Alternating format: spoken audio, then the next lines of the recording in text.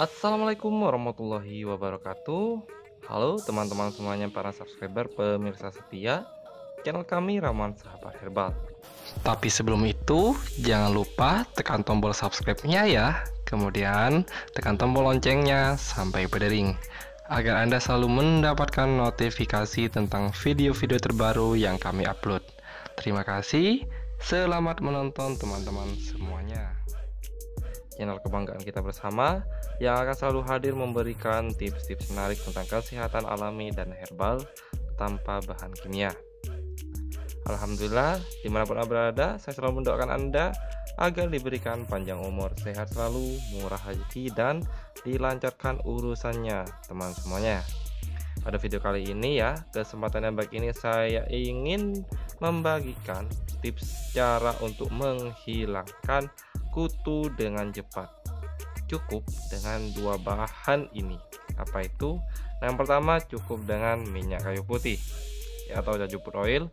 Kemudian bahan yang kedua adalah jeruk nipis ya bisa anda dapatkan di warung-warung terdekat dua bahan ini sangat mudah sekali sobat untuk di kita temukan lah kita dapatkan tinggal beli saja harganya murah tapi memiliki kemampuan luar biasa caranya bagaimana?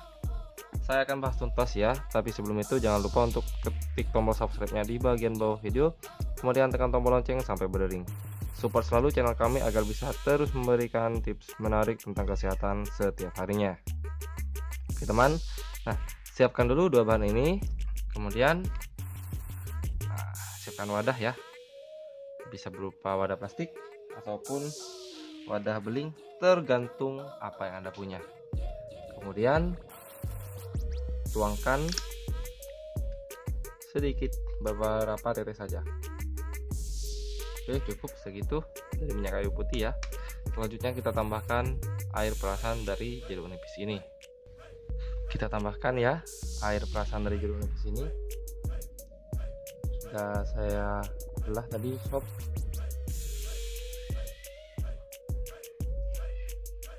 oke terus.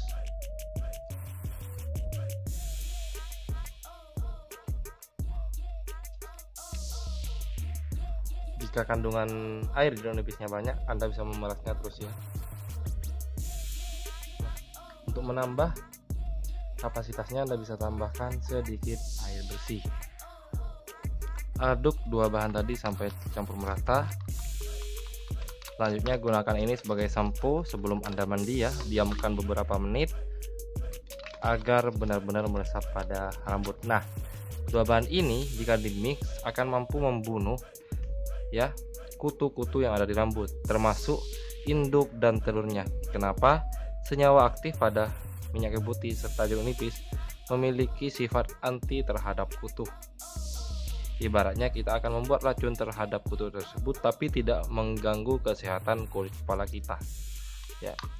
Semoga bermanfaat teman. Jadi tidak usah bingung lagi jika Anda didatangi kutu ataupun saudara, istri atau teman Anda memiliki kutuan. Silakan lakukan coba cara ini. Insya Allah Bismillah yakin sangatlah efektif. Timbang rambut Anda digundul ya. Nah, terima kasih. Semoga bermanfaat. Sharekan video ini agar banyak yang tahu. Apabila ada kritik dan saran silahkan sampaikan di kolom komentar. Assalamualaikum warahmatullahi wabarakatuh.